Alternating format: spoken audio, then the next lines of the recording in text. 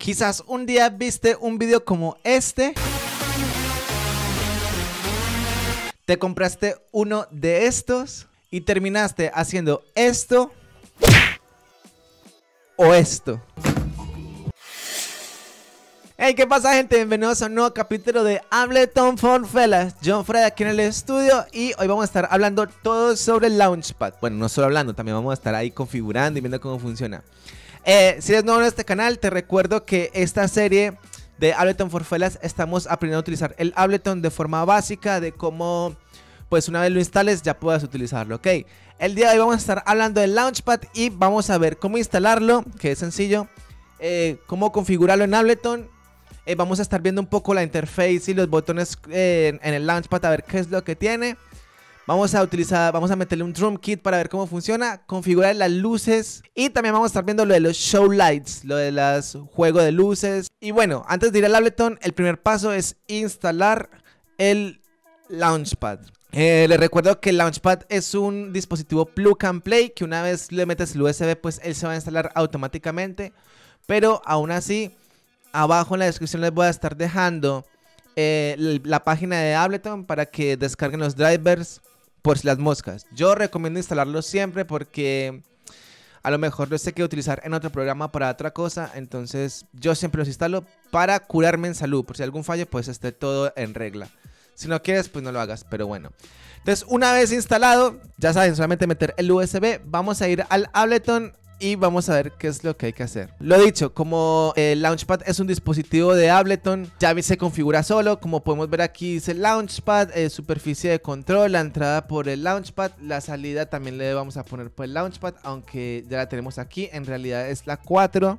No voy a entrar en profundidad en esto porque voy a, explicar en un capítulo que viene cómo instalar dispositivos eh, MIDI, como por ejemplo estos dispositivos que no son nativos de Ableton y requiere una configuración específica. Entonces no va a entrar mucho en estos parámetros para hacerlo fácil, ¿vale? Entonces estén atentos si están interesados en, saber cómo instalar dispositivos MIDI en Ableton, pues ya lo haremos. De momento vemos que todo está correcto porque se autoconfigura. Entonces, primer, segundo check, configuración. Vamos a pasar a explicar lo que es el Launchpad y cómo funcionan cada uno de los botones y además tenéis el Ableton ahí al ladito.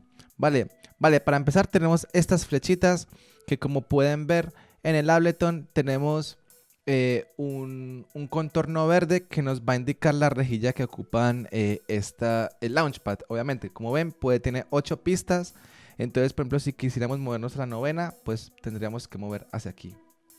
O sea, una más, dos, tres. Ahí pueden ver cómo se está desplazando la rejilla. Si lo mismo tenemos para abajo más de 8 clips, pues también lo mismo. Vamos y vamos para abajo y ahí podemos ver cómo la rejilla se va desplazando. Ok. Esto para la, para la parte de sesión, que es este el primer botón que está aquí, que ya dice sesión. Creo que no se puede apreciar ahí, pero bueno. Vale, en el segundo, que dice user 1, tenemos la parte para utilizarlo como instrumento. Si nosotros tenemos aquí cualquier pista MIDI con un instrumento o un drum rack, pues esto nos valdrían como notas. Eh, que sepan que va, va como de 4-4, esta sería Do, Do sostenido, Re, Re sostenido y luego subiría a la siguiente línea de 4. Se divide por de 4 en 4, ¿vale? Entonces sería el primero, primera octava, segunda, tercera y cuarta octava. Luego tenemos el mixer, tenemos también un usuario 2, pero lo dicho, no vamos a entrar muy a profundidad porque esto es para que ya con una vez lo conecten ya se pueden utilizarlo. Entonces vamos a ir a Mixer que también es muy importante y tenemos aquí distintas secciones. Aquí tenemos lo que sería como los clips para activarlos. Lo mismo aquí para desplazarnos para arriba y para abajo. Ahí vemos como el contorno verde nos va a demostrar. Entonces estos serían los primeros cuatro y si bajamos, vamos para abajo, pues ya serían los, los otros cuatro, el sexto o el séptimo, como lo quieran. Lo mismo para los lados. Entonces aquí podríamos activar los distintos clips que tendremos eh, preparados. La fila aquí nos vale para preparar las pistas de grabación. Como pueden ver ahí, eh, se está viendo cómo se activa y se desactiva el botoncito rojo para grabar. Y estos botones de aquí que tenemos esta flechita nos valdría como para resetear todo. ¿Ok? Eh, entonces, vamos a la segunda fila que también aquí os pone el nombre. Este sería el de solo. Como pueden ver, eh, esto activa cada uno de los clips solos. Y si tenemos activado eh, todos eh, varios, pues tenemos que volver aquí y ya se vuelven a desactivar. Vale, entonces este botón es como para resetear. Lo mismo tenemos con esto, que es para activar y desactivar pistas.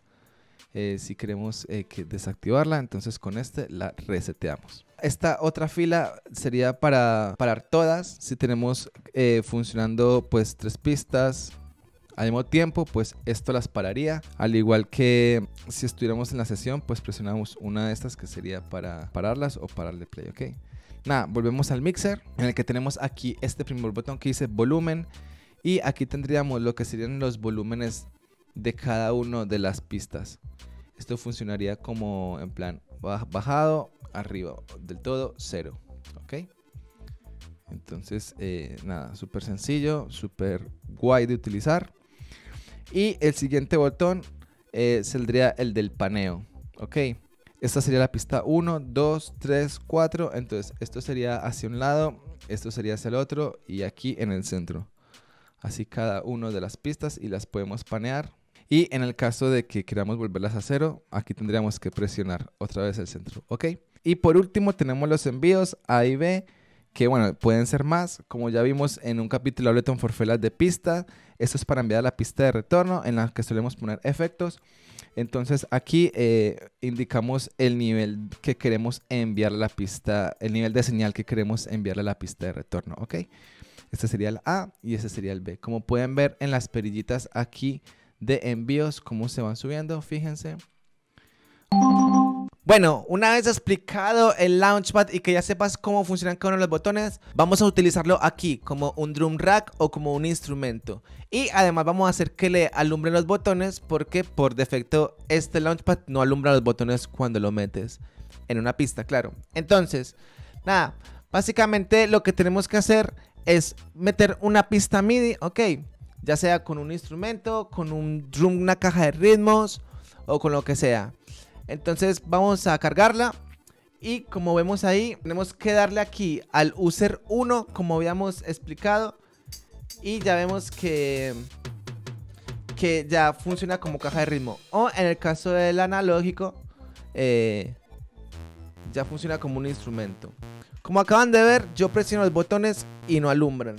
Entonces, lo que tenemos que hacer es, eh, aquí en este apartado de aquí que tenemos eh, las entradas y salidas, si ustedes no lo ven, es porque tienen desactivado este botón que tengo aquí abajo a la derecha. No sé si están viendo.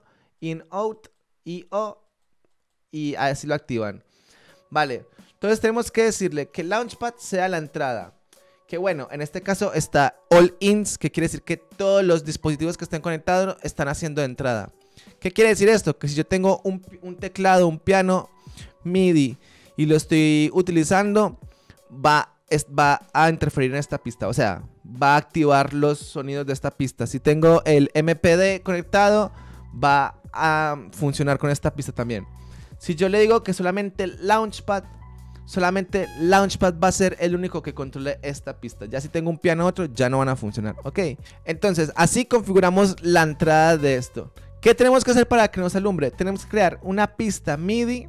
Tenemos que decirle que sea entrada y que la salida sea por el launchpad. A ver si se logra ver. ¿Ves? Ahora sí, alumbran. Porque ya estamos viendo que la salida sea por aquí. Sencillo, fácil y super easy. Cuando vemos eh, esas imágenes, cuando vemos esos vídeos en los que la gente está haciendo remixes con los Launchpad, en realidad no es que ellos estén tocando un botón y se generen esos patrones en realidad esos patrones ya están generados y ellos ya tienen como que la coreografía preparada. Entonces, claro, lo vemos, cuando lo vemos, vemos, nos parece increíble, pero detrás de todo eso hay muchísima preparación, hay muchísimo tiempo. ¿Por qué? Porque, como les acabo de enseñar, eh, se activan con notas. Entonces tú tienes que dibujar todas esas notas para que dibujen un patrón. Eh, les voy a enseñar este ejemplo que tengo aquí, esto sería un patrón de un juego de luces, ¿vale?